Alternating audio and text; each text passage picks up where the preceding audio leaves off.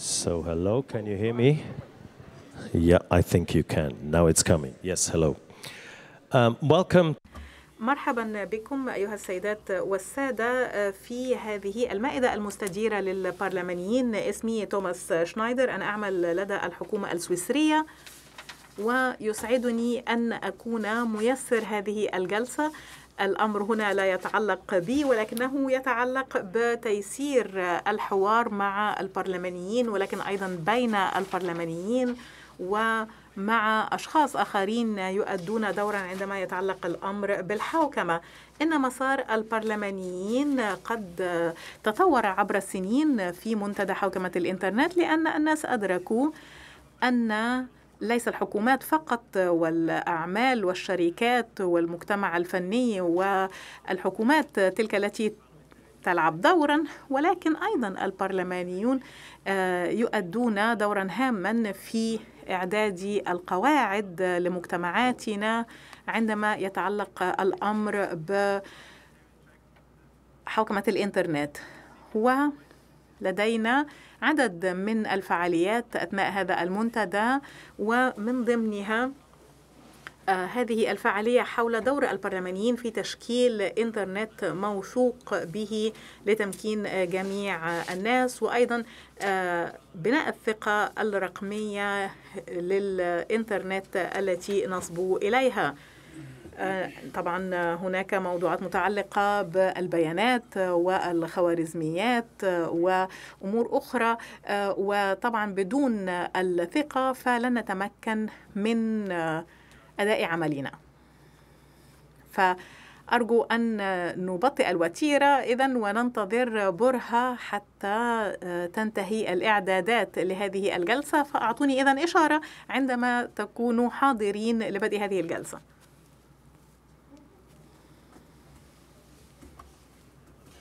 إذا يمكن أن ننظر إلى الحضور ونستمتع بهذا المشهد الرائع لأشخاص يبتسمون ويتحدثون مع بعضهم البعض.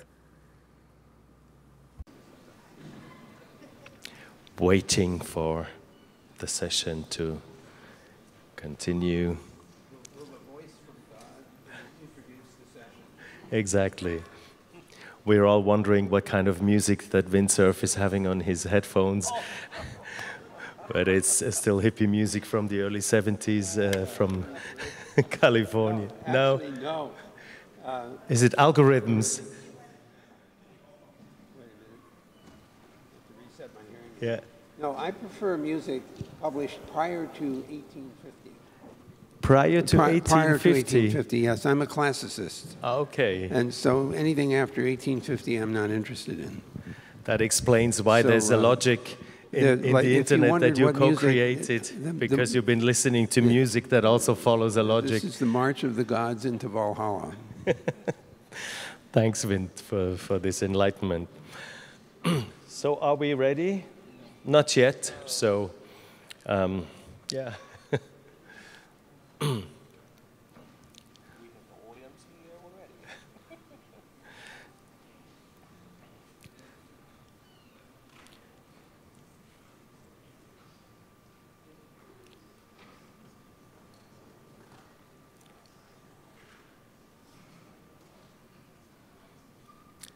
This is a really nice venue. It's a really nice architecture. It's my first time here in Japan, so uh, I'm quite enjoying it. and uh, yeah.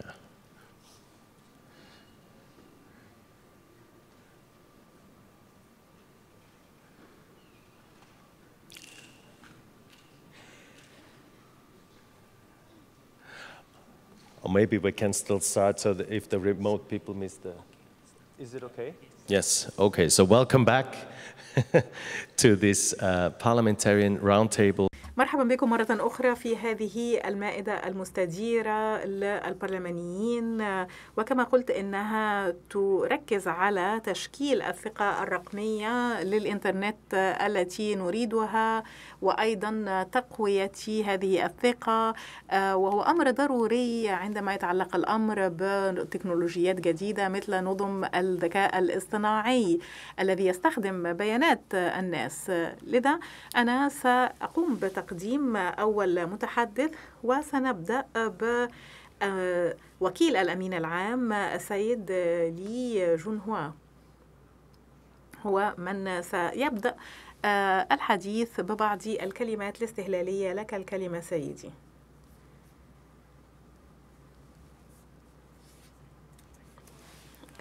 شكرا جزيلا السيد الميسر طاب يومكم جميعا السادة والسيدات البرلمانيين والبرلمانيات الزملاء الأعزاء بالنيابة عن إدارة الأمم المتحدة للشؤون الاقتصادية والاجتماعية. من دواعي سروري أن أرحب بكم هنا في هذا المسار البرلماني. هذه المائدة المستديرة في اجتماع المنتدى لعام 2023 طبعا إن تشكيل الثقة وبناء الثقة آه، الرقمية أمر آني للغاية آه، فإن الإنترنت والتكنولوجيات الرقمية آه، تتزايد أدوارها في تشكيل اقتصاداتنا ومجتمعاتنا. لذا من المهم أن تكون هناك إمكانية لصناع السياسات أن يفكروا في هذه الأمور وفي تطلعات الناس وأيضا في حماية حقوقهم ومن من ضمنها الحق في الخصوصية.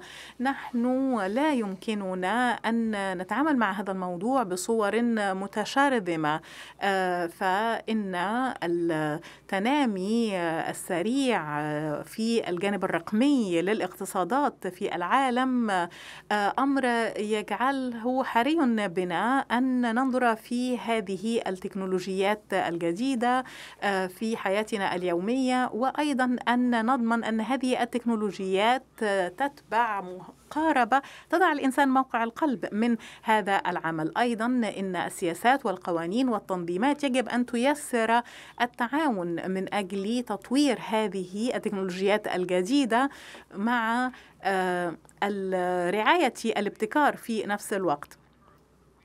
وطبعا علينا أن نقوم بخلق مساحة رقمية آه، تحد من إمكانية انتشار المعلومات الكاذبة والمضللة وأن تؤمن الإنترنت كأداة للتمكين الفردي والجماعي.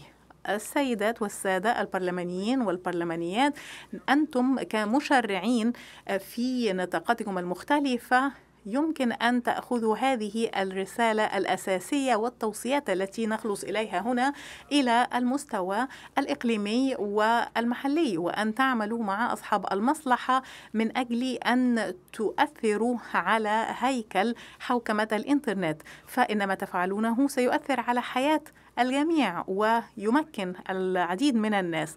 فنحن سنفعل ما بوسعنا حتى نقوم بتقليص المخاطر ونضمن أن الأفراد يمكنهم أن يستمتعوا باستخدام الإنترنت بصورة آمنة. آه، إن تواصلكم مع المنتدى آه، أمر نقدره ومن الضروري أن ننظر في العمل الذي ينجز في هذه الجلسات وكموارد لأعمالكم على المستوى الوطني ونقاشاتكم البرلمانية.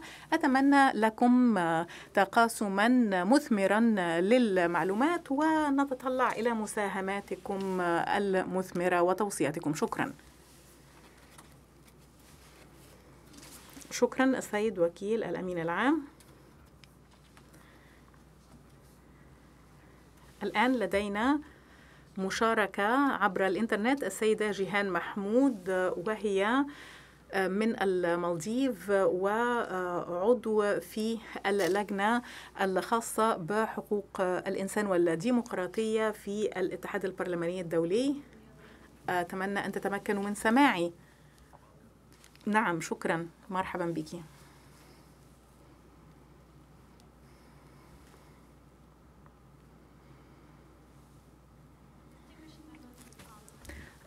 السيدات والسادة أعضاء البرلمان المتحدثين المشاركين في المنتدى يبدو أن الثقة ليست دائما متوفرة بكثرة. إن الثقة في السياسة آه، ليست مرتفعة هذا بحسب الاستبيانات واستطلاعات الرأي. آه، و لكن طبعا هذا أمر ضروري للغاية لأن الناس يجب أن تثق أن الانتخابات نزيهة وأنه بإمكانهم أن يضعوا ثقتهم في ممثليهم ونوابهم. بالنسبة للبرلمانيين فإن الثقة العامة هي مسألة آه، يفكر فيها البرلمانيون دائما. ونحن نعرف من واقع خبرتنا الشخصية أن الثقة تحتاج إلى الوقت حتى تتأسس. إن القواعد اتباع القواعد وأيضا العمل بصورة أخلاقية هي بعض المكونات لبناء الثقة. لهذا السبب نحن اليوم نركز على الإنترنت الموثوق بيئة رقمية آمنة. وأود أن ألفت عنايتكم إلى ثلاث مجالات تتعلق بعمل الاتحاد البرلماني الدولي ومن ضمنها العنف عنف ضد المرأة والأطفال أيضا في المجال السياسي. نحن لا يمكننا أن نسمح باستمرار العنف في المجال السبراني بدون أن نتعامل معه. علينا أن نتخذ التدابير القانونية لكي نقوم بالحد من هذا العنف.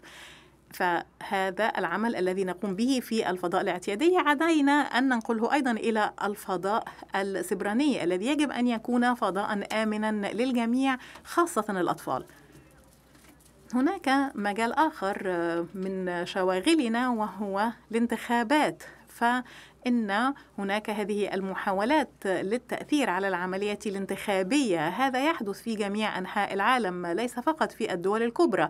هذا يحدث أيضا في الدول الصغيرة مثل المالديف البلد الذي أنتمي إليه. إن الطرق التي تنتشر بها المعلومات آه، والفرص الجديدة لاستهداف الجماهير من الأمور التي يجب أن نتعامل معها. فعلينا أن نعمل ما بوسعنا لكي نضمن نزاهة هذه الانتخابات. إن شرعية حكوماتنا وبرلماناتنا تعتمد على هذا الموضوع. وثالثا الذكاء الاصطناعي الذي دخل بقوة في حياتنا في الأشهر القليلة الماضية. إن هناك الكثير من الإمكانات والمنافع ولكن أيضا الكثير من المخاطر.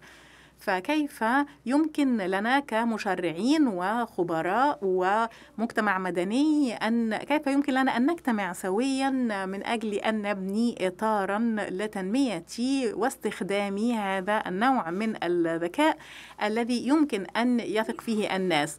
هذه إحدى هذه إحدى الأسئلة التي آه، يجب أن ننظر فيها. فبالنسبة للبرلمانيين من المهم أن نتواجد هنا في منتدى حوكمة الإنترنت وأن نأخذ دورنا في هذا الحوار القائم ما بين أصحاب المصلحة على المستويات المحلية والإقليمية والدولية. نحن هنا لكي نتحمل هذه المسؤولية من أجل خلق إطار تشريعي يكفل الحماية للجميع. ونحتاج إلى إسماع كل الأصوات مما يمكننا من اتخاذ التدابير الكفيلة ببناء إنترنت موثوق. أنا متأكدة من أن هذه الأفكار متداولة هذا الأسبوع في منتدى إدارة الإنترنت وسنستمر في ذلك في إطار ال IPU وفي إطار آه، الجمعية البرلمانية الدولية في إطار منتداكم شكرا الآن سنستمع لعضو في برلمان الدولة المضيفة اليابان سيد توموكو يوكوشيما تفضلي 皆様こんにちは私は衆議院 شكرا مرحبا بكم أنا توموكو كيشيما رئيسة لجنة الشؤون العامة في مجلس النواب بنيابة عن أعضاء البرلمان الياباني وبصفتي رئيسة لجنة الشؤون العامة التي تتعامل مع سياسة المعلومات والاتصالات سأتقدم معكم بهذا الخطاب. أعرب عن خالص امتثاني لحضوركم وللبرلمانيين في هذا المنتدى في طبعته الثامنة عشرة. وأرحب بكم في الحصة المخصصة للبرلمانيين وأنتهزها فرصة لي الامتتان الأمم المتحدة والاتحاد البرلماني الدولي ومنظمين على جهودهم لجعل هذا الاجتماع حدثا ممكنا. بصفة البلد المضيف لمنتدى إدارة الإنترنت في عام 2023 يسعدني أن أتقدم ب أو أن أقدم آه، هذه الكلمة للحديث عن أصحاب المصلحة المتعددين التقاء ومناقشة موضوع النهوض بشبكة الإنترنت المفتوحة المجانية وجديرة بالثقة. لدى منتدى آه، إدارة الإنترنت جلسات تنظم بين أصحاب المصلحة المتعددين مثل جلسات وورش العمل رفعة المستوى بينها يوفر المسار البرلماني فرصة للمشرعين لتبادل الممارسات الجيدة ومناقشة حلولهم والمشاركة في حوار مع أصحاب المصلحة والآخرين تنفيذ سياسات آه، فعالة وكفؤة بشأن القضايا الرئيسية المتعلقة باستخدام الإنترنت وتطويره وإدارته وإن نتائج هذه المناقشات آه، سوف يكون تأثير على سياسة الإنترنت في كل بلد. موضوع رئيسي للمسار البرلماني هذا العام هو تشكيل الثقة الرقمية للإنترنت الذي نريده. وعلى وجه الخصوص نناقش ثلاث موضوعات مهمة وتخص المجتمع الدولي. أولا إدارة البيانات ثانيا الذكاء الاصطناعي وثالثا المعلومات المضللة. ونوقشت هذه المعلومات أيضا في اجتماع الوزاري الرقمي والتكنولوجيا مجموعة السابع والذي استضافته اليابان هذه السنة. تشمل هذه الموضوعات أيضا مناقشات موسعة حول كيفية ضمان الموصولية الموثوقة مع معالجة الفجوة الرقمية بها وكيفية تعظيم الفوائد الذي التي تعود على البشرية مع التخفيف من المخاطر الاجتماعية والاقتصادية. وعلى وجه الخصوص فيما يتعلق بالذكاء الاصطناعي واستناد نتائج مؤتمر قمة هيروشيما لمجموعة السبع ستعقد عملية هيروشيما للذكاء الاصطناعي في شهر مايو أيام من هذا العام. أو عقدت. قرب نهاية العام سنعمل على صياغة مبادئ توجيهية دولية لجميع مطوري الذكاء الاصطناعي من خلال هذه العملية. وسيتشارك جميع أعضاء المجموعة السبعة الاعتراف بأهمية تبادل وجهات النظر مع أصحاب المصلحة المتعددين في هذه العملية. أعتقد أن منتدى إدارة الإنترنت والمسار البرلماني المخصص فيه سيكونان فرصة ثمينة للاستماع إلى أصوات مجموعة واسعة من أصحاب المصلحة وأتطلع إلى إجراء مناقشات حية بشأن هذه الموضوعات الهامة. وفي الختام أود أن آه، أتمنى لكم النجاح في جلساتكم وشكرا. Next شكرا لك سيدتي توموكو. الآن سنستمع لشخص هو ليس برلمانيا بل إنه ممن رافق مسلسل منتدانا منذ نشأته. أدواره عديدة وآخر هذه الأدوار هو رئيس لجنة القيادة ال Leadership Panel للمنتدى. لك الكلمة. يا بنت. I'm always nervous when people clap before. أنا دائما أخشى من التصفيق قبل أن أقول كلمة. على كل أتقدم أمامكم بصفتي التكنولوجيا وسط مجموعة من البرلمانيين والذين يطلب منهم فرض انضباط على تكنولوجيات معقدة وتكنولوجيا الإنترنت والنظم القائمة على الحوسبيات. أنا لا أغبطكم في مهامكم ولكنني أتمنى أستطيع مساعدتكم فيها. من بين مميزات الإنترنت والنظم القائمة على الحوسبيات الأساسية هي أنها تضخم من النتائج. بمثل ما نراه في النشر والانتشار السريع للمضامين في العالم فهو عبارة عن مكبر صوت لأناس صوتهم هافت لدرجة أنه غير مسموع في العالم العادي. وبالطبع التحدي هو كيف نضبط كل هذه الأمور. وأحذر المشرعين هو أنه بأنه يستطيعون تشريع وإقامة قوانين ولكنهم لا يستطيعون إعادة النظر في قوانين الفيزياء. ومهما حاولتم فلن تستطيعوا تغيير قوانين الفيزياء. نحن كمواطنين في كل بلد ومواطني العالم وفي العقد الاجتماعي القرن الحادي والعشرين نحن نرجو أن يكون هناك عقد اجتماعي فيه قواعد وسلوكيات تمكننا من الشعور والعيش بأمان وسلامة في هذه البيئة الرقمية. لذلك من الهام بالنسبة للبرلمانيين أن يعرفوا أو يتعرفوا على القدرات ومواطن الضعف الموجودة في تطبيقات القائمة على الحوسبيات وأن يفسر التكنولوجيون للبرلمانيين وهذا جزء من واجباتهم المبادئ الأساسية لطرق اشتغال النظم هذه. وأعتقد أن البرلمانيين هم من أصحاب الشأن في تحقيق العقد الاجتماعي.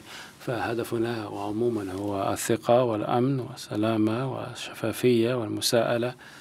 كثير من الأمور المتصلة بهذه المفاهيم لتحقيق تشريعات مقبولة من طرف الجميع. في الوقت الراهن نحن مندهشون بما تقدمه لنا تطبيقات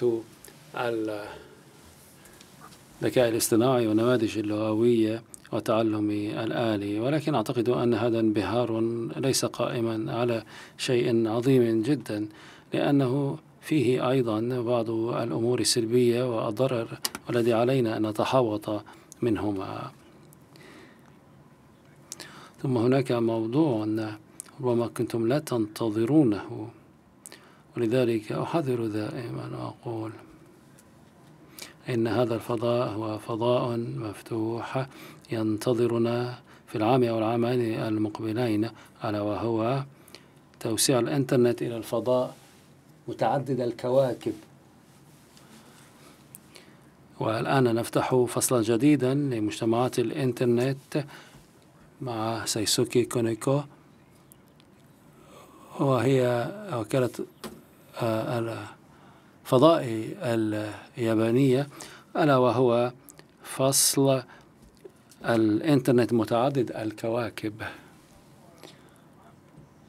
وهذا بالطبع سوف يتطلب تعاونا وتنسيقا ما بين وكالة الفضاء الأوروبية واليابانية والكورية والناسا في الولايات المتحدة الأمريكية. في العامين المقبلين عندما سيبدأ الإنترنت على سطح القمر ستبدأ المعاملات التجارية على سطح القمر ولذلك تداعيات على الأنشطة التجارية عموما على الرغم من أن معاهدة الفضاء الخارجي قد تم عقدها في 1967 ولكنني أعي أنه علينا أن ننبري لهذه الأسئلة. هل يمكننا أن نمتلك عقارا على سطح الأرض مثلا؟ هل تريد نازا أن تشتري مثل هذه العقارات أو منجم على سطح القمر؟ هل عندنا قوة شرطة فضائية لفرض الانضباط في ما بين الكواكب والإنترنت. سيرافق كل هذه الأسئلة وكل هذه الجهود. إذا إن استطعنا التعاطي والإنترنت الأرضي في 2024 2025 في الاجتماعات السنوية لمنتدانا أنا متأكد من أن موضوع الإنترنت متعدد الكواكب سيعود إلى جدول أعمالها شكرا لك much Vint and thank you for um, telling us that our lives will become even more complicated. But at least that means that uh, when uh, the IGF will be prolonged by the UN General شكرا لك على تذكيرنا أن الأمر سيكون تعقيدا يا أكثر تعقيدا ل في المستقبل. فربما قد نعقد الجمعية العامة للأمم المتحدة في 2025 أو منتدانا في 2026 و 27 و 28 على المريخ أو على أحد الكواكب الأخرى. قد ألقاكم في ذلك الكوكب حينها في 2027 شكرا. أدعوكم الآن لإعطاء الفرصة لبرلمانيين الثلاث للالتحاق بي هنا على المنصة للتفاعل معكم والحديث حول هذه الأسئلة الثلاث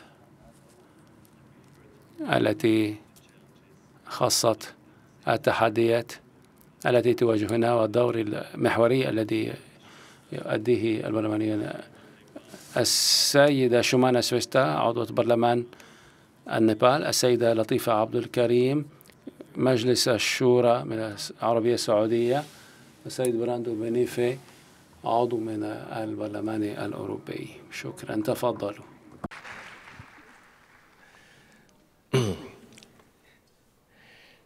So maybe we start with a question to لنبدأ بالسؤال المتعلق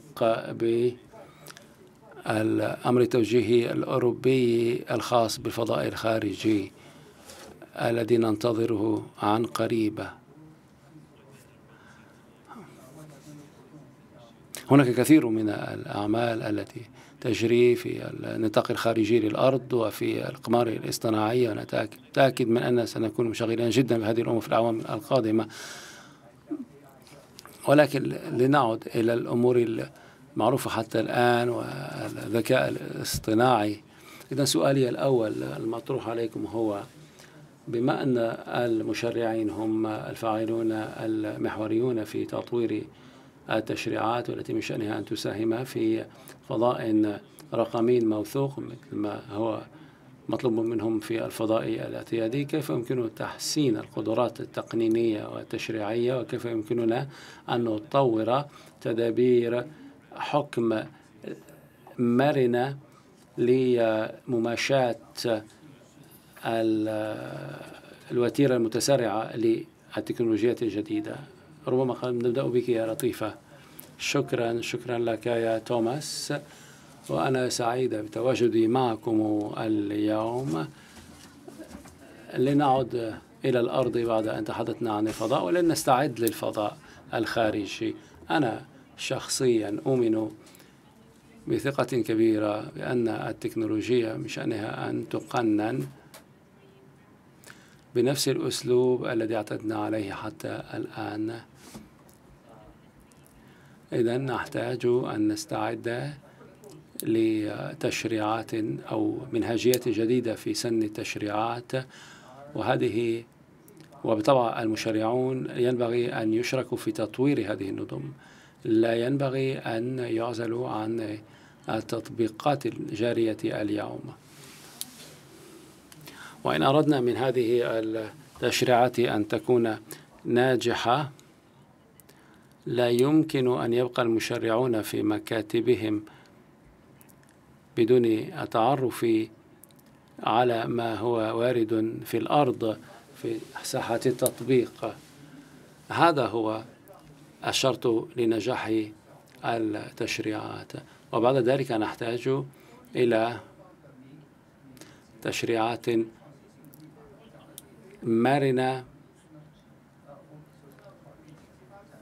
متعددة أصحاب الشأن حتى تكون الابتكارات مسؤولة. ومن أجل ذلك نحتاج إلى التصدي لكل جوانب غير اللا يقين وعلينا أن تكون في هذه التشريعات هوامش كافية من المرونة للتكيف والتطورات الجديدة. وأعتقد أن هذا هو الذي سيبني الثقة مع المستخدمين والشركات. لا أدري كان عندي وقت. فكبرلمانية ما هي أدوارنا كبرلمانيين؟ فلنا دوران أساسيان في الواقع. تحرير مشاريع قانون استعراض القوانين تعديل القوانين. هذا ما يجري عموما في البرلمانات. ولكن نحتاج إلى استراتيجية كبرلمانيين. نحتاج إلى تشكيل مجموعة متعددة اللجان من ذوي الخبرات المختلفة وإعداد خارطة طريق بدءا بالأولويات. وبدءا بالجواب على السؤال التالي ألا وهو ما هي التكنولوجيا التي ينبغي أن تقنن وكيف نقننها ولماذا ينبغي تقنينها؟ وفي الرد على هذه الأسئلة ينبغي أن يكون هناك اتساق بين التشريعات الجديدة والتشريعات القديمة. ودورنا الثاني هو الإشراف والمراقبة. فنحن هيئة مساءلة من بين جهات مساءلة أخرى. يطلب منها أن تتعامل بشكل متوازن مع التشريعات بعيدة الأمد التي نستهدف. فعندنا إذن العمل الآني قصير الأمد والعمل النائي بعيد الأمد. أي تحرير مشاريع القانون تعديل المبادئ السياسات ثم ضبط مدى الامتثال لكل هذه التشريعات والقوانين. كما أن هناك أمر آخر هو أننا نحتاج إلى منهاج جديد للتعرف على المعايير التي تقوم عليها هذه التكنولوجيات الجديدة. ولذلك نحتاج إلى رأب الفجوات السياسية في مراكز التكنولوجيات حتى نكون ملمين بأسلوب عمل حامل المشاريع والشركات التكنولوجية. أعتقد أنني تجاوزت الوقت المتاح لي.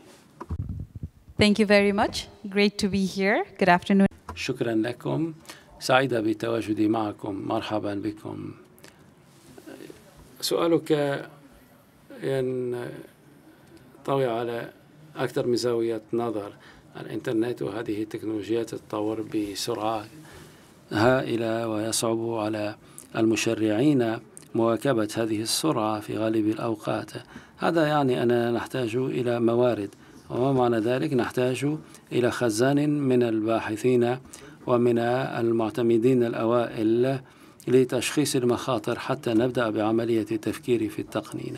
هذا هو الخطوة الأولى المطلوبة. وبعد ذلك نحتاج إلى وضع خطة مرتبة من ألفها إلى يائها حتى نخرج بسياسات تؤمننا مئة بالمئة. وبعد ذلك نحتاج إلى المنادات أو إلى معرفة الظروف الخاصة والفريدة التي يعيشها كل بلد منا. وبهذا نستطيع أن نتفق بشأن إطار عالمي مستلهم من حاجتنا القطرية الفردية. وعلينا طبعا نعرف ما هي الإكراهات التي يعيشها بلدنا. على سبيل المثال هل النيبال هل النيبال تملك المنصة الكفيلة بتقنين شركات تكنولوجية عظمى وما هي أفضل السبل الممكنة عندنا في النيبال لتأمين هذه الخدمات؟ ولذا قد نحتاج إلى تبني معايير دنيا مشتركة في شتى أنحاء العالم بشكل عابر الحدود لحماية الطفولة مثلا.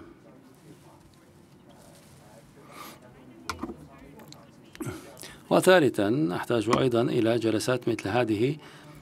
نتعلم الواحد فيها من الآخر ونستقي منها الدروس ونتجنب الأخطاء التي وقع فيها الآخر حتى لا نعيد ابتكار العجلة. شكرا. من جهتي أعتقد أن السؤال الذي طرحته قد رد عليه من الزميلتين عندي بعض الإضافات فقط. يمكننا أن نقول إن الضغط موجود دائما بين واجبين. واجب التشريع المتشارك مع جهة أخرى في حالتنا مع المجلس الأوروبي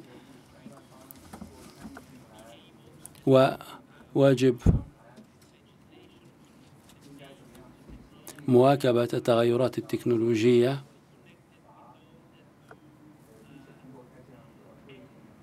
أي واجب. ديمومة التواصل مع الفاعلين في سوق التكنولوجيا والبحوث التكنولوجية. وأعتقد أن هذا ينبغي دائما أن يكون ويتم إلا بعد أن نعترف بأن هناك مصالح مشتركة وأن هناك عناصر قوة. وعندما ننظر إلى التشريعات التكنولوجية ينبغي أيضا أن نتعرف على أوجه التوازن الموجودة فيها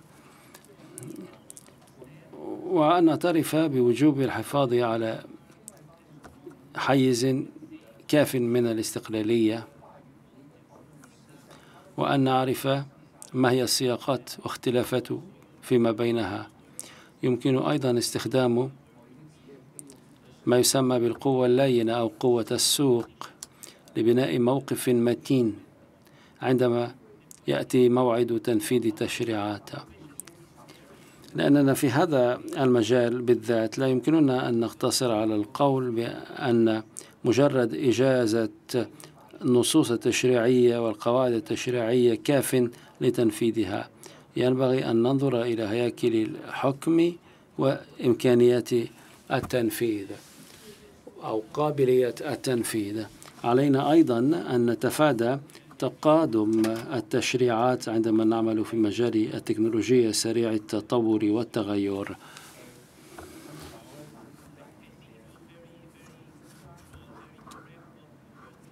وصحيح ما سمعناه في السابق من طرف فينت سيرف.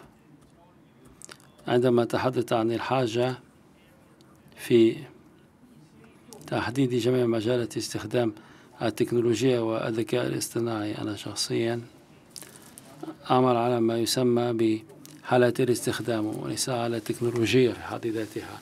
وهذا الأمر ليس دائما ممكنا هو استثناء على القاعدة. القاعدة من الأصل أن تحدد تأثير كل تكنولوجيا على الواقع. إن عملنا بهذا الشكل فربما قد نتحصن من التوابع السلبية لهذه التكنولوجيات المتجددة على أعمالنا. شكرا. إذا ما تقولونه لي هو أنه نحتاج إلى نموذج متعدد الأطراف متعدد التخصصات التعلم الواحد من الآخر. ولكن كما نعلم البرلمانيون ليسوا بالضرورة خبراء على جميع التكنولوجيات عند انتخابهم منصبهم.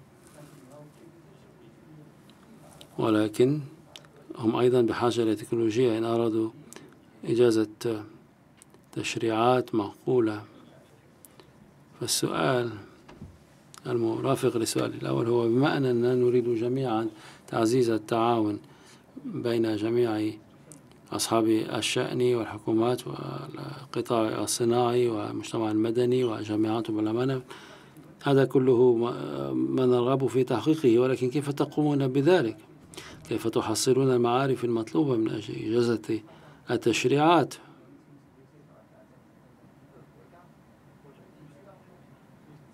وما الذي ينبغي أن نقوم به من أجل تحسين الوجهة يجدر بي أن أقول إن نموذج البرلمان الأوروبي مثير للانتباه في هذا الصدد. إنه يقوم على بناء أكبر عدد ممكن من الفرص للمناقشة وللإعداد للعمل. على سبيل المثال في مجال الذكاء الاصطناعي. بدأنا بإعداد أعمالنا التشريعية التي بدأنا بنشرها حاليا في هذه الآونة. بدأنا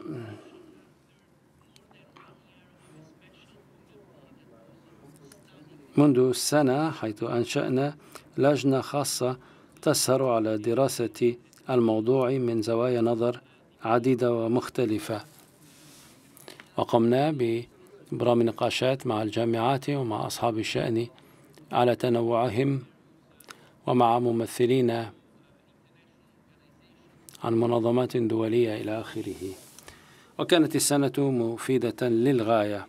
لأنها أعطت ومنحت للبرلمانيين زاوية النظر الضرورية للعمل على هذا الموضوع المعقد جدا وتحويله إلى جسم تشريعي فالتجربة عندنا مختلفة ولكن مهما كان الاختلاف أعتقد أنه من اللازم أن يكون هناك برمجة واستثمار حقيقي في الوقت المتاح أمامنا ما معنى ذلك؟ إنكم تعلمون أن عهد البرلمانيين محدودة زمنيا وينبغي عليهم ولم يكون ما يكفي من وقت للتوغل في كل تفاصيل الموضوعات قبل البث فيها بقرار. ودائما هم يتعرضون لضغط بسبب المواعيد الانتخابية أو بمواعيد باقتراب الاستحقاقات. والتوقيت ينبغي دائما أن يكون مناسبا قبل اتخاذ القرارات. توقيت إشراك أصحاب الشأن والتهور دائما يؤدي بنا إلى اتخاذ قرارات خاطئة ينبغي تصحيحها في ما بعد. لذلك أعتقد أن اختيار التوقيت الأنسب هو أفضل ما ينبغي أن نبدأ به حتى نكون ناجعين عندما نريد إجازة تشريعات جديدة من هذا النوع. السؤال بالطبع هو كيف نعد وننفذ السياسات التي نشرع لها؟ كل دولة تقوم بتنفيذ. لو لو كانت جميع الدول تنفذ كل ما هو مكتوب في تشريعاتها لما كانت هناك فئة من الدول تدعى بالدول النامية. أعتقد أن المشوار يبدأ بالثقة. كيف نبني الثقة؟ الثقة بيننا وبين هؤلاء الناس أصحاب الشأن المختلفين وكيف نحول الثقة إلى تعاون فعلي. أعتقد أن الخطوة الأولى ينبغي أن تكون الاعتراف بأن العمل على هذه التكنولوجيات الجديدة هي ما سيؤول بنا في آخر المطاف إلى إمكانية فعلية لخلق تلك المدينة الفاضلة التي نحلم بها جميعا والتي يمكننا فيها أن نتواصل بحرية وسهولة وسلاسة وبالطبع تنفيذ السياسات. رهين بمقدرتنا. هل نملك المقدرة البشرية أو القدرات والموارد لفهم الموضوع الذي نعمل عليها؟ وهذه مشكلة كبرى تواجهها عديد من الدول النامية بما في ذلك النيبال. فنحن نشكو من هجرة الأدمغة مما يعيق طريقنا ويعيق فهمنا لمثل هكذا أمور تكنولوجية معقدة في كثير من الأحوال. وأنا أعتقد أن أفضل طريق للتعزيز هو مأسسة المجهود الذي بدأناه وهذا يعود بي لما قلته سابقا أي أن نبني على الشبكة التي نملك الآن وعلى المعارف التي راكمنا. وبعد ذلك التفاعل بشكل سريع وخزان المعارف التي يمكن أن نستفيد منها إن أردنا أن نعزز التعاون. وشكرا. Thanks a lot, and I would like to add. شكرا جزيلا. أنا أود أن أضيف شيئا إلى ما قالته زميلتي. I think نحن لقد تحدثوا عن أصحاب المصلحة وعن غيرهم. أنا أود أن أضيف شيئا آخر. لدينا قدرة استخدام أدوات أدوات الذكاء الاصطناعي في البرلمان. أعتقد بأن هذا سيكون مهما. أنا سأستلهم من تجربتي. أنا محاضرة في مجال الذكاء الاصطناعي وأنا أستخدم أدوات الذكاء الاصطناعي. أنا أود أن أستخدم هذه الأدوات في وضع القوانين وعندما يكون لدينا وقتا قصيرا لكي نفهم ونوجز القوانين وغيرها من التشريعات والمقارنة فيما بينها بالإضافة إلى شيء آخر. أنت تحدثت عن التعاون فيما بين الحكومات. في نحن أنا عضو في مجلس الشورى. نحن لدينا تعاون فيما بين البرلمانيين. لدينا 150 بلدا في العالم نتعاون معهم وذلك من خلال لجان الصداقة. نحن نتشاطر الممارسات ونتعاون على مستوى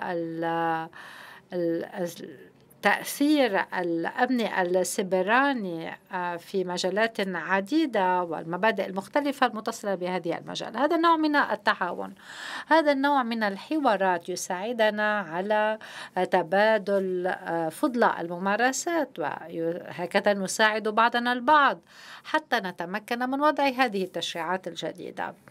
إضافة إلى ذلك آه، أن أعضاء البرلمان السعودي هم أيضا أعضاء في ال IPU ولذلك فإننا كنا قد ناقشنا في الأوروغواي آه، في إطار القمة كل ما يتعلق بالتحديات الخاصة بالذكاء الاصطناعي. طبعا اي بي يو هو الاتحاد البرلماني الدولي. إذا ونحن أيضا نتحدث عن آه، دور المجتمع المدني والأوساط الدنماركية الأكاديمية عفوا. الآن آه، أود أن أتحدث عن هذا الموضوع. نحن نحتاج كبرلمان مانيين إلى الحوار فيما بيننا.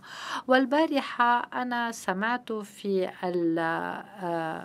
الجلسة البرلمانية عن ضرورة أن نتبادل الممارسات الفضلى ضمن آه، فيما بين البرلمانيين. آه، نحن علينا أن نتشاطر آه، المعلومات الخاصة بمبادئ البيانات أيضا معايير حوكمة الإنترنت وغيرها من الأطر التي يمكن أن تساعدنا على تبادل المعرفة فيما بين البلدان. هناك أمر آخر علينا أن ننظر فيه.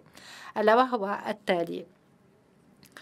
علينا أن آه، نحسن جهوزيتنا فيما يتعلق باستخدام الذكاء الاصطناعي آه، وذلك عن طريق الربط بين آه، قطاع الأعمال وغيرها من القطاعات. أنا أتمنى بأن هذا المستقبل سيتبلور في وقت قريب. شكرا جزيلا. أعتقد بأن التعاون حسب ما سمعنا مهم جدا. يمكن أن نعتمد على الخبراء ولكن علينا أن نتحاور فيما بين الحكومات حتى آه، نتمكن من التوصل إلى المعايير الملائمة. إذا علينا أن نتحاور. ولكن الجواب إلى أي حد يمكن موائمة معايير السلامة عبر الأقاليم والبلدان والصناعات حتى نتمكن من بناء ثقافة عالمية للثقة والأمن الرقمي. كيف آه، نحن نعرف بأنكم قد تكونوا قد آه، انتخبتم في بلد تهمه أمور لا تهمه لا يهتم بها بلد آخر. إذا كيف يمكن إذا تشاطر كل هذه المعلومات فيما يتعلق بمعايير السلامة آه، ومواءمة هذه المعايير مع وضع متطلبات دنيا آه، فيما يتعلق بالسلامة والأمن وغيرها من المعايير الخاصة بالتكنولوجيات بشكل عام ليس فقط الذكاء الاصطناعي. البيانات من الأمور التي يمكن أن تجتاز الحدود الجغرافية للبلدان. إذا ما هو مدى التعاون عبر الحدود التي تحتاج يحتاجونها من أجل بناء الثقة آه، والأمن الرقمي وذلك من خلال العمل فيما بين البرلمانات. برأيي أن المهم هو كما قلت لكم في وقت سابق عندما يكون لدينا فضاء سبرانيا آمنا آه، فهذا يتيح لكل بلد ولكل شخص في العالم في أن يستفيد من هذا الفضاء. أعتقد بأن هناك العديد من الأمور التي يمكن أن تكون آه، مفيدة. وأذكر بهذا الشأن الكرم. الكرم في الاستعداد لتبادل المعلومات وكذلك التكنولوجيات. أنا على يقين بأن هناك بعض الباحثين والأوساط الأكاديمية إلى آخره في بلد ما التي لديها خوارزمات من أجل كشف الديب فيكس أو آه، التكنولوجيات التي تؤدي إلى التزييف العميق.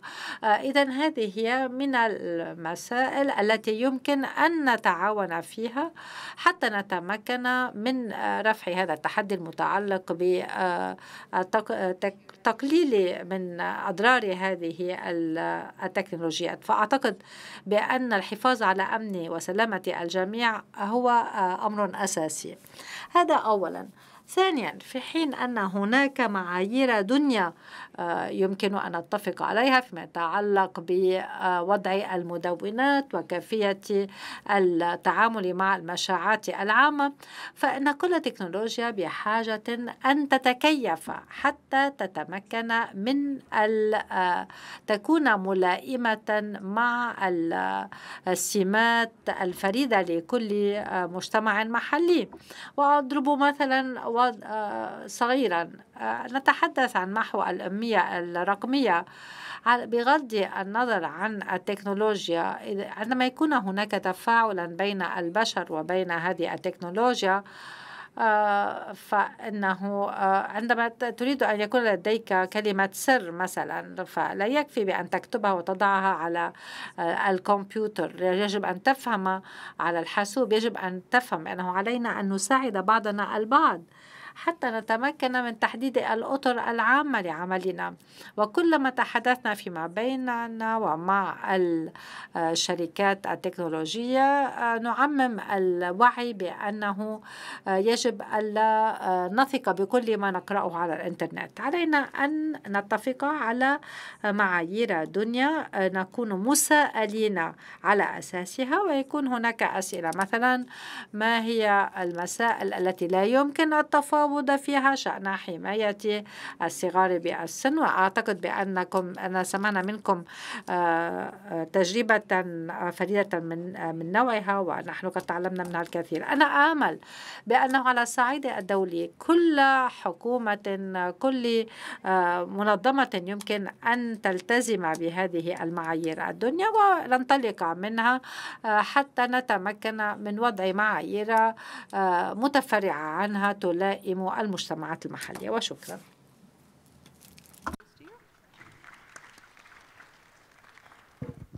Well, I think that uh, if we talk برأيي أنه إذا ما أردنا أن نتحدث عن إنترنت جديرة بالثقة. إذا ما نظرنا إلى مسائل الذكاء الاصطناعي وغيرها من المسائل التي نناقشها في هذا الإطار مما لا شك فيه بأن التعاون يكون مهما جدا.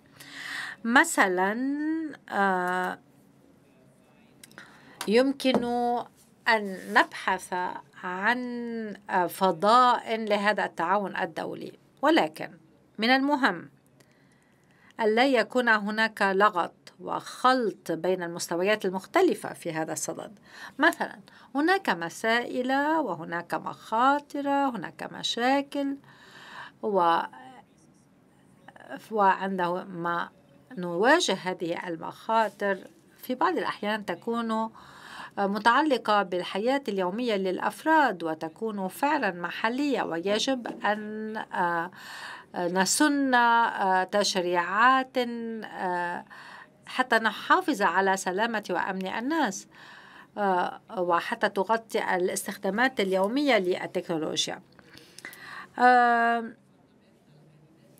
أعتقد بأنه إذا ما نظرنا إلى المخاطر المنظومية المتعلقة بال هذه التكنولوجيات بما فيها الحاجة إلى أن يكون لدينا تعريفات مشتركة وفهما مشتركا لما نقوم به فعندها نرى بأن دور المنظمات الدولية مهم جدا. نحن نتحدث عن الأمم المتحدة نعم ولكن هناك أيضا منتديات أخرى حيث أنه يتم مناقشة هذه الموضوع مثلا سمعنا رئيس الوزراء كيشيدا يتحدث عن عملية هيروشيما بشأن الذكاء الاصطناعي. هذا مهم جدا. ويمكن تطبيق ذلك على الإنترنت اليوم وعلى تكنولوجيات أخرى. وقد رأينا بأنه يمكن أن نتعلم من بعضنا البعض.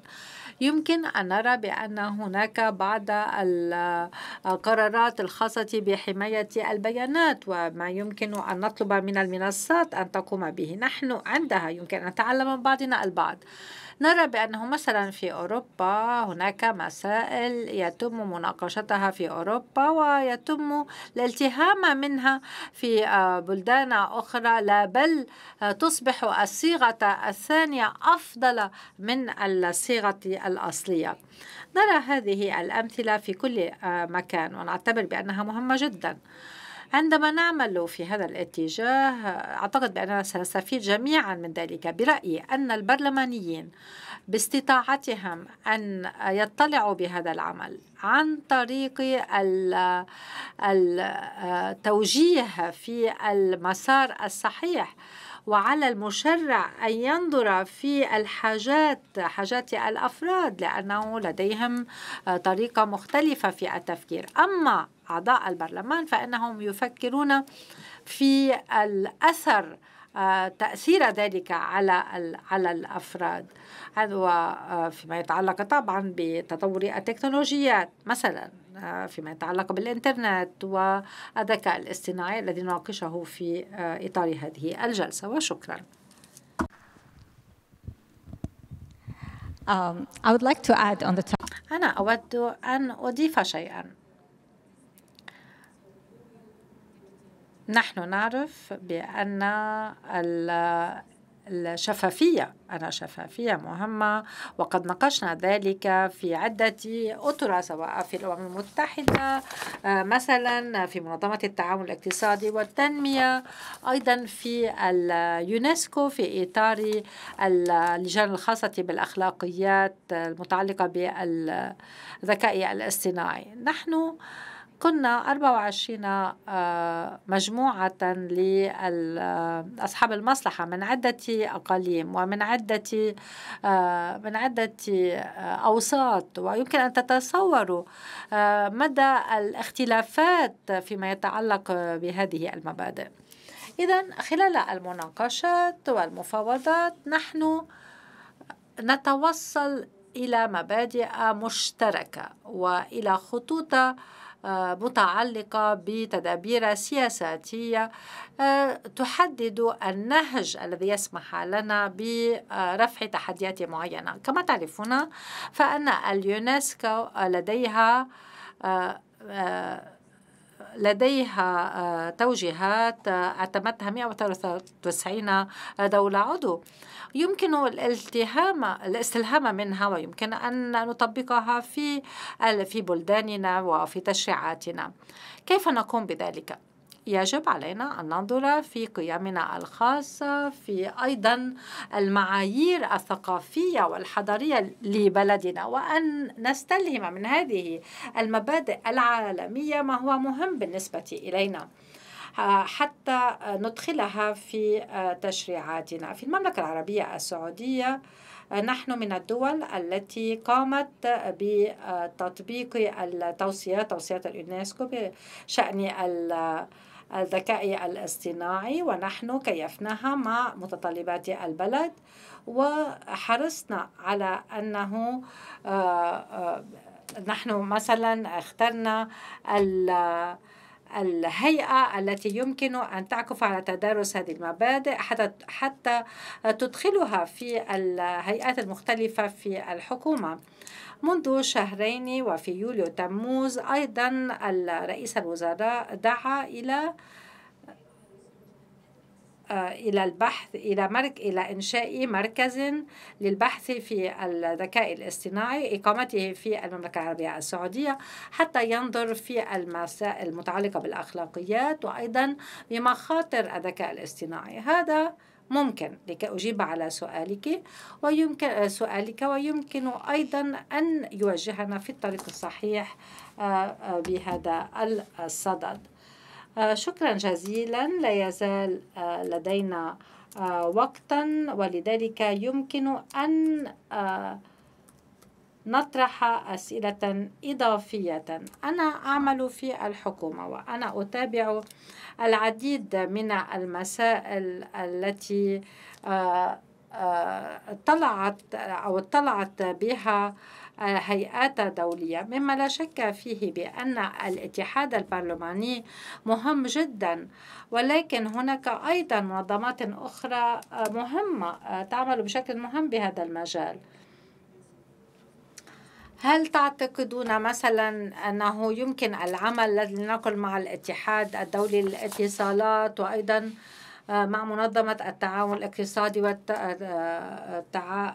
عفوا منظمة التعاون الاقتصادي والتنمية وغيرها حتى نتصل حتى يكون هناك اتصال ليس فقط بالحكومات وإنما أيضا مع منظمات أخرى يمكن أن يعود عليكم بالنفع أنتم كبرلمانيين.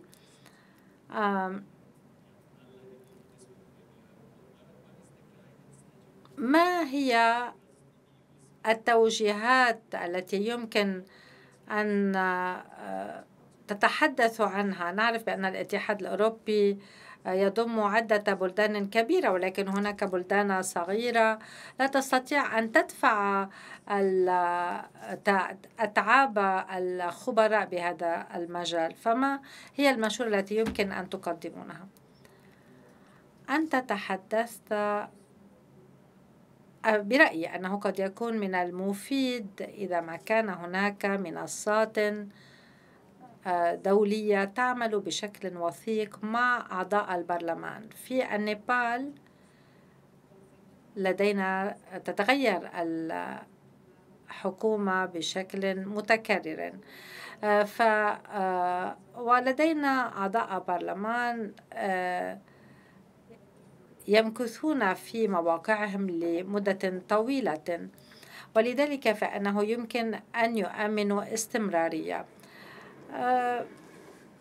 أعتقد بأنه من الضروري أن ننظر في ما تقوم به ما تقوم به الدول الأخرى حتى نتعلم من تجربتها ومن خبراتها وننقل إلى حكومتنا وإلى بلدان إلى بلدنا ما قد يكون مفيد مفيدا بالنسبة إلينا. وذلك من خلال التحاور مع برلمانيين وأيضا منظمات أخرى. هذا أولا. ثانيا نحن علينا أن نبتعد عن النهج القطاعي وأن نحاول عقد حوار حوار بعيدا عن ازدواج الأعمال وبشكل يسمح لنا بالتوصل إلى نهج متناغم بشأن البيانات واستخدامها ويمكن بعد ذلك الاستناد إليه بغية تطبيقه في مجالات مختلفة. هل آه، توافقون هذا الرأي أو هل تريدون إضافة شيء ما؟ هذه آه، أيضا تجربتنا أنا أعتقد بأنه قد يكون من المهم أن نتعلم من بعضنا البعض لماذا؟ لأن هناك أشكال تعاون متقدمة مع بعض المنظمات حتى من مع تلك التي أنتم ذكرتمونها. قد يكون هناك قد لا نتمكن من التشاور مع كافة هذه المنظمات ولكن يمكن أن آه، نستند إلى فضل الممارسات وفيما يتعلق بالذكاء الاصطناعي يمكن موائمة نهوجنا. أعتقد بأنني أجبت على هذا السؤال قبل أن طرحته. لدي بعض الأفكار للاتحاد. عندما يكون لدينا هيئات من الأمم المتحدة شأن اليونسكو وغير وغيرها والتي تعمل على الصعيد الدولي من المهم أن تأخذ بعين الاعتبار آه، التشاور مع أعضاء البرلمان. لأنه يمكن أن يكون لديهم أفكار حول التوصيات التي يمكن أن تضعها هذه الهيئات والمنظمات. أعتقد بأن مشاركة أعضاء البرلمان في هذا الصدد تكون مهمة جدا. شكرا. لدي سؤال آخر. أعتقد بأنكم أجبتم على هذا السؤال آه، في بداية الجلسة. نظرا إلى نظرا للتغيرات السريعة سريعة في التكنولوجيات ونظرا لأنه ليس لدينا التكنولوجيات التي تبقى مستقرة لفترة طويلة والتي تتعرض للتغيرات. معنيه بهذا أنه بالنسبة للتكنولوجيات التي نتحدث عنها هنا آه، فإنها تتغير وتتبدل بشكل آه، سريع على على خلاف آه، تكنولوجيات أخرى. إذا إذا كان التشريع يستغرق عدة سنوات في الوقت الذي تتبدل فيه التكنولوجيات بسرعة فنحن لا نتوصل إلى آه، منتج نهائي بسرعة. كيف يمكن أن تتكيف التشريعات مع هذه التغييرات السريعة؟ كيف يمكن أن نرافق هذه السرعة آه، في تبدل التكنولوجيات؟ كيف يمكن أن نتكيف آه، بشكل مستمر حتى لا نطيل آه، في التوصل إلى تشريعات لهذه التكنولوجيات؟ كيف يمكن أن ترفعوا هذا التحدي المتعلق بطول بطول مدة وضع التشريعات؟ برأيي هذا يعتمد على القانون على طبيعة القانون. عندما الأمر يتعلق بالبيانات والتكنولوجيات فإننا آه، قد استغرقنا وقتا طويلا. الفكرة هنا هي أننا بحاجة إلى العمل آه، بموازاة هذه التحولات. كان لدينا مسودة آه، لمدة عشر سنوات. برأيي بأنه على الجميع أن يشاركوا في العمل آه، بهذا المجال. إذا لم أنتم أيها البرلمانيين إذا لم يكن لديكم هذه المسودة عليكم أن تبدأوا بإعدادها من الآن حتى تكون جاهزة في اليوم الذي آه الذي آه تحتاجون إليها. آه نحن لدينا صناديق ما يسمى بصناديق الرمل إنها أيضا مهمة جدا. لا نعرف كيف يمكن أن نغطي أو أن نعالج كافة الأوجه المتعلقة بالتكنولوجيا المتغيرة. إذا لم تتمكن من اعتماد نهج استباقي. إذا أنت تقولين بأنه يجب أن نعمل على عدة مستويات. وعلى تشريعات يمكن أن تتكيف مع المتطلبات. أنا أود أن أقول ما يلي. كما سمعنا الوقت يمتد على عدة سنوات ولكن أهم من ذلك يجب أن نحظى بالأدوات الملائمة. فالأمر لا يتعلق فقط بتحديث وتحيين التشريعات فنحن بحاجة إلى آه، إلى تك... إلى أن أن تكون هذه التشريعات لينة بشكل يمكن أن تستقبل به فيه التعديلات. نحن لا نريد أن يكون هناك تجزئة للتشريعات وتجزئة للأسواق. نحن بحاجة إلى تشريع يكون متينا ولا يؤدي إلى هذه التجزئة والتشرذم. ويمكن أيضا أن آه، نستعين بتدابير آه، تنفيذية آه، على ضوء إشراف من البرلمان. فنحن علينا أن نتحلى بالمرونة. لماذا؟ لأن الوقت أمر مهم جدا نحن أنا نحن نؤمن بالديمقراطية حتى وحتى يقدر الناس عملنا يجب أن نفرز عملا ناجحا يتكيف مع المتطلبات الزمنية برأيي أنه لدينا رزم أدوات مختلفة. ونعطي مهلة للبرلمان حتى يفرز التشريعات أو التدابير المطلوبة. يمكن أن وفي لدينا مثلا ستين يوما كمهلة. يمكن الاستفادة من ذلك ولا سيما إذا كان لدينا حالات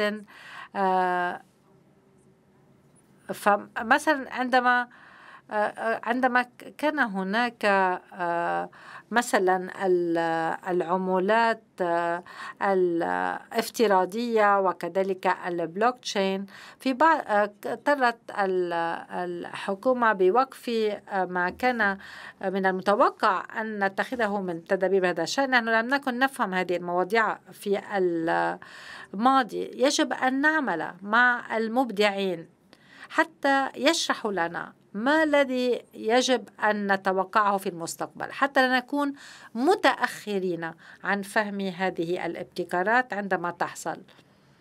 شكرا جزيلا. لدينا بعض الدقائق المتبقية. إذا كنتم موافقين معي إذا كنتم توافقون الرأي يمكن أن نعطي الميكروفون للحاضرين في القاعة. فإذا ما أرادوا يمكن أن يطرحوا الأسئلة على أعضاء البرلمان. هذه فرصة يمكن أن تنتهزوها. الرجاء أن تعرفوا عن أنفسكم قبل أن تطرحوا سؤالكم أو تدلوا بتقييمكم. أنا اسمي سمويل جورج وأنا آه، عضو برلمان في غانا. نحن سمعنا عدة مداخلات وعدة آراء نوافق مع معظمها ولكن أنا عضو برلمان في أفريقيا. يمكن ربما أن أتفهم ما تقال ما قالته نيبال وأعتقد بأن المملكة العربية السعودية ليست دولة نامية الأمر نفسه بالنسبة للمتحدث الآخر.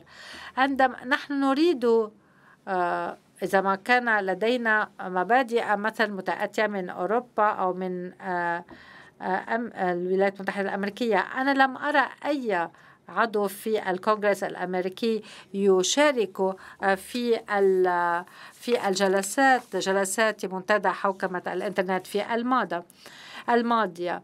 نحن أتساءل في البارحة سمعنا عن قانون الأمريكي الخاص بالسحابة. هذا أيضا نرى بأنه من بعض الأمور التي سمعناها يمكن أن تشكل خطرا على الأفراد في في أفريقيا. نحن نريد أن نبني الثقة نحن نريد معايير دولية. كيف يمكن الأخذ بعين الاعتبار وجهة النظر الأفريقية حتى نأخذ بعين الاعتبار قيمنا المحلية وكذلك ثقافتنا المحلية.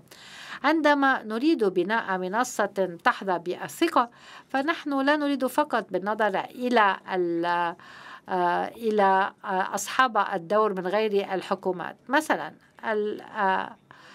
لدينا ال 34 وهي سنة مهمة جدا. آه، عفوا 2024 ستحصل العديد من الانتخابات آه، في بل في البلدان في العالم من من بينها أفريقيا آه، وبلدي. مثلا إذا نظرنا إلى كافة العالم فهناك مسألة مهمة جدا متعلقة بالتضليل سواء كان متعمدا أو لا.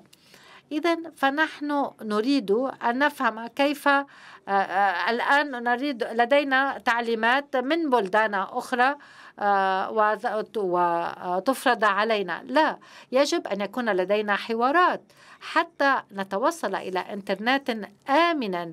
ولذلك على كل من لديه دور في هذا المجال أن يتحمل مسؤوليته. أنا لم أرى أي حكومة أفريقية لديها القدرة لتطبيق هذه المعايير دون أن يكون لديها موافقة من هؤلاء اللاعبين الكبار.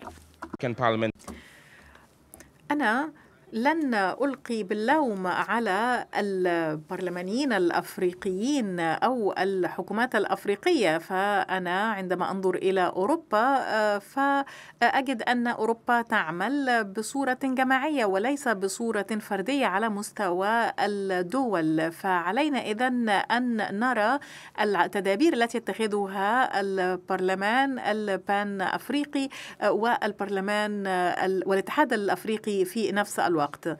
فإذا يجب أن يكون هؤلاء على مائدة الحوار. شكرا جزيلا حيث أنكم آه، من البرلمانيين يمكن أن تتقدموا بهذا الطلب للمنظمين أن يحاولوا أن يشركوا المشاركين مثلا أو البرلمانيين من الكونغرس الأمريكي من ضمن أماكن أخرى. طبعا يمكنكم أن تعلقوا على هذا.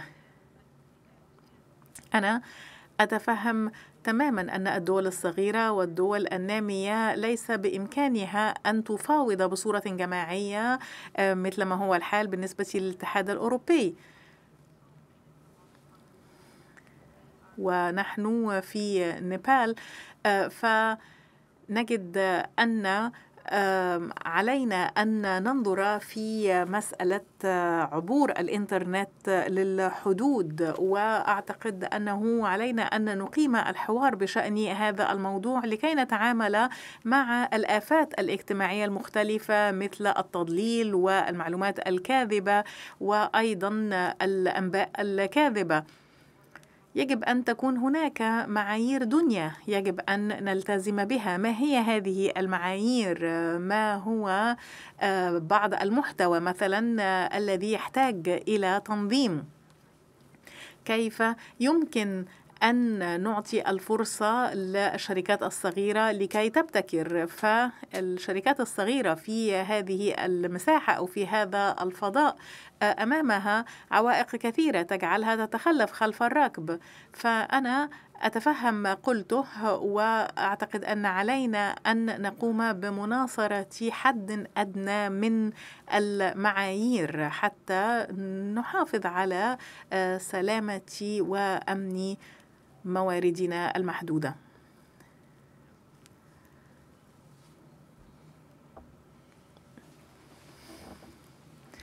آه، مرحبا. أنا من نيبال. كانت هذه جلسة شيقة ولقد استمعنا إلى الكثير الذي قمتم به كبرلمانيين ولكن لازال أمامنا الكثير الذي يجب أن ننقذه أيضا. أنتم كبرلمانيين كمشرعين. سؤالي هو كيف ستشركون الشباب في هذه العملية. في مناطقكم المختلفة كيف تشركون الشباب؟ أو ما هي خططكم لإشراكهم حتى تصبح الإنترنت أكثر أمنا؟ هذا سؤال جيد. كيف تشركون الشباب؟ أنا أحاول أن أتصل مع الشباب وهم نعتبرهم طبعا من صغار الناخبين. أحاول أن أعطي رسالة واضحة أنهم إذا لم يتواصلوا إذا لم يتفاعلوا مع هذه القضية وإذا لم يحصلوا على الأدوات لكي آه، يتفاعلوا أو إذا حصلوا على الأدوات ولكنهم لا يريدون التفاعل فإن هناك آخرون سيقومون بالتفاعل بدلا منهم. وهذا يعني أنهم لن يكونوا جزءا من هذا المستقبل. في كثير من الأحيان يقول السياسيون ويتشدقون بكيف أن الشباب هم المستقبل ولكن للأسف هذا مجرد كلام. في كثير من الأحيان آه، فإن مجريات الأمور آه، تقع في أيدي الأجيال آه، الكبيرة كبيرة السن. ففي بعض الأحيان هذا أمر متفش ولكن علينا أن نحاول أن نقنعهم بأنه يجب أن يكونوا جزءا من هذه العملية ف لا يمكن لأي شخص أن يقول أنه لا يهتم بالشباب لا يكترث بالشباب يكترث فقط بكبار السن فإن هذا لا. لا يحدث ما من سياسي يقول هذا. ولكن الأفعال تختلف عن الأقوال. فإذا إذا كان من يقرر هم كبار السن فمعنى ذلك أنه لن تؤخذ احتياجات الشباب ومصالحهم في الاعتبار. عندما مثلا أنظر إلى هذه الأمور أجد أن علينا أن نقوم بهز المؤسسات والسياسات. علينا أن نعطي الفرصة للشباب. يجب أن يستغل الشباب هذا الزخم حول المواطنة الرقمية الحقوق الرقمية تطوير فهم عالمي للإنترنت والذكاء الاصطناعي. يمكن للأجيال الشابة فعلا أن تساهم في هذا العمل ويجب أن نقوم بإشراكهم. أنا مقتنعة بما قلته ومثلا أنا قصتي الشخصية هي أنني انضممت للبرلمان للمرة الأولى. أنا كنت أعمل في القطاع الخاص في الماضي وأنا انضممت للبرلمان لأنني مؤمنة أن الأجيال السابقة لن تفعل أي شيء إزاء تغير المناخ وإزاء الكثير من الآفات التي تعم المجتمع. فقررت أن أنضم للبرلمان لكي ألهم من لم يشارك من قبل في أن يفعل ذلك. وهناك طريقة حاولت بهما أن أشرك الآخرين. هناك هذه التعبيرات التي تستخدم مرارا وتكرارا ولكنها لا تجتذب انتباه الشباب. فأنا حاولت أن أشرح لهم معنى هذه العبارات. حاولت أن أشرح لهم ما سيعنيه الافتقار إلى هذه السياسة أو تلك بالنسبة لحياتهم. ما سيكون أثر هذا على حياتهم. فأنا حاولت أن أفسر لهم هذه اللغة المعقدة التي يستخدمها المشارعون بحيث تترجم إلى لغة مفهومة لهم في حياتهم اليومية. الأمر الآخر هو أنني حاولت أن أشجعهم على المشاركة لأنه إذا لم يشاركوا الآن فإنه لن يكون لن تكون هناك فرصة لكي نغير من هذا الخطاب. طبعا أنا أتفق مع المتحدثين من قبلي. إن السعودية بلد أغلب السكان فيه من الشباب تحت سن الثلاثين. فكل ما نفعله هو العمل من أجل الشباب ومع الشباب. وفي هذه الحالة في كل القطاعات نحن نتعامل مع المتطلبات الخاصة بالشباب ونأخذ آراءهم في الاعتبار. إذا هؤلاء البرلمانيون الثلاثة سنهم تحت متوسط سن البرلمانية العادي. نحن نعرف أنه في الغرب في كثير من الأحيان فإن البرلمانيين أكبر سنا ولكن طبعا توزيع الجغرافية في أو السكانية في السعودية مختلف. إذا دعونا نأخذ سؤالا أخيرا. السلام عليكم. أنا من باكستان.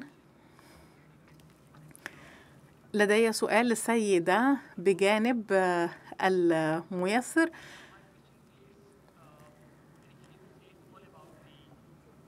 لأنها تنتمي إلى نفس المجموعة التي أنتمي إليها. سؤالي يتعلق بإغلاق الإنترنت من قبل الحكومات لتحقيق مكاسب سياسية. فإن إغلاق الإنترنت من أجل تحقيق مكاسب سياسية. أمر يحدث. ما الذي يمكن أن تفعلونه من أجل أن تقوموا بحوكمة الإنترنت لتتعاملوا مع هذا الموضوع في بلادي هذا العام؟ أغلق الإنترنت لمدة ثلاثة وأربع أيام فقط لأسباب سياسية. فما الذي يمكن لمنتدى حوكمة الإنترنت أن يفعله في هذا الصدد؟ وكيف يمكن أن يتم تنفيذ مثل هذه التنظيمات الرامية إلى منع ذلك؟ ما هو السؤال تحديدا؟ سؤالي هو إذا قلنا أن النفاذ إلى الإنترنت هو حق من حقوق الإنسان إذا فإن إغلاق الإنترنت من قبل الدولة لتحقيق مكاسب سياسية هو أمر مخالف لهذه الحقوق. فما هي التدابير التي يمكن أن يتخذها منتدى حوكمة الإنترنت في هذا الصدد؟ نعم نحن كبرلمانيين نعتبر أن النفاذ إلى الإنترنت أنا أتحدث يقول المتحدث عن إغلاق الإنترنت من قبل الدولة. في حالتنا هذا لا يحدث.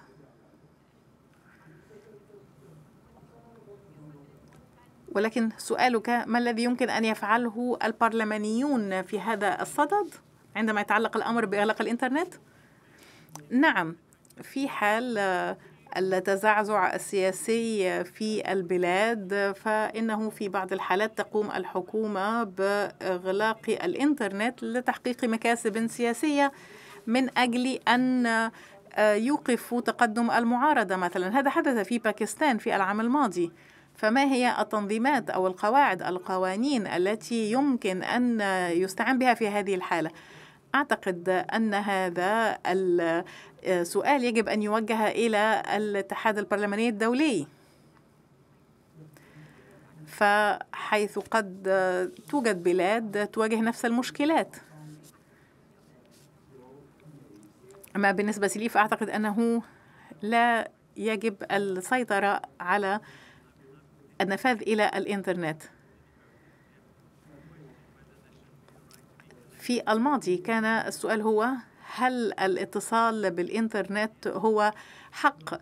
واختفى هذا الأمر الآن وظهرت أسئلة من قبيل هل يجب أن يتم إغلاق الإنترنت؟ الحق في عدم الاتصال بالإنترنت. إذا اعتبرنا هذا حق من حقوق الإنسان وحق من أو أو أحد أمثلة على حق في التعبير حرية التعبير فهذا أمر مقبول الآن. ولكن أيضا هناك السؤال أو المسألة الاقتصادية ما هو الحق؟ هو هل هو الحق في التواصل؟ ولكن كيف يمكن أن نختار هل مثلا يجب أن يكون هذا الحق مجاني؟ فمثلا نحن ندفع لقاء قراءة الصحف أو مشاهدة التلفاز. في بعض الحالات مثلا في أوروبا يمكن أن يتم تقليص حرية الحصول على المعلومات أو حرية التعبير في حالات معينة.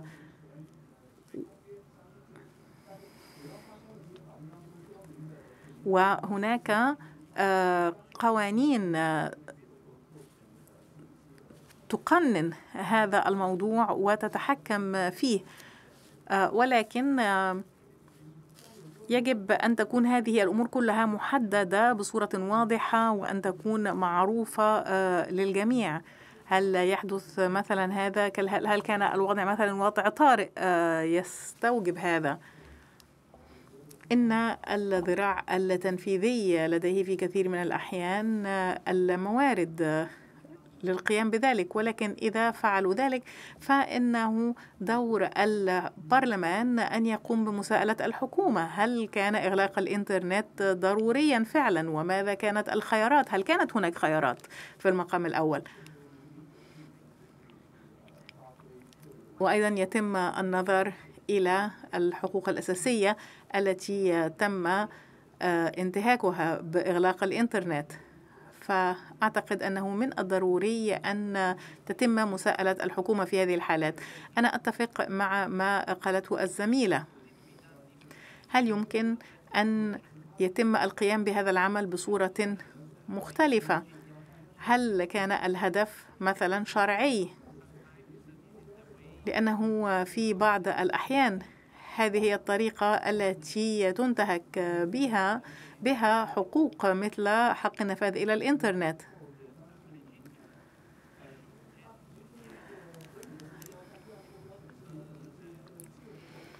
قد تستغل الحكومة أو تتذرع الحكومة بذريعة أو بأخرى من أجل تحقيق مكاسب سياسية عبر إغلاق الإنترنت كما قلت. لذلك علينا أن نبني فهما مشتركا مسألة تقليص النفاذ إلى الإنترنت. هذه يجب أن تتناسب مع الأسباب التي تدعو الحكومة إلى القيام بذلك. فهذا موضوع حساس بالنسبة لي ويجب أن نعمل على بناء فهم مشترك. نرى في هذه الأيام تقسيم الإنترنت أو تفتيت الإنترنت. وفي هذا السياق يجب أن نذهب في الاتجاه المعاكس أن نعمل على وجود إنترنت موحد للجميع. أعتقد أن هذه هي الكلمات الملائمة لاختتام هذه الجلسة. أعتذر ولكن الوقت داهمنا وأتمنى أن تتاح لكم فرصة التحدث مع البرلمانيين الحاضرين هنا في منتدى حوكمة الإنترنت.